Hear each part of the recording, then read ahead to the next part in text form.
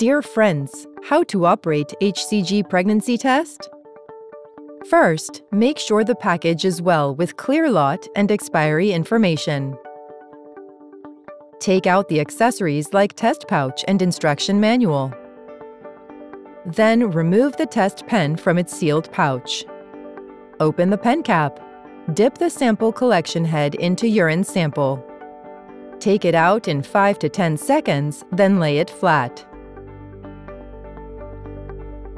Finally, do not forget to read the results within 5 minutes.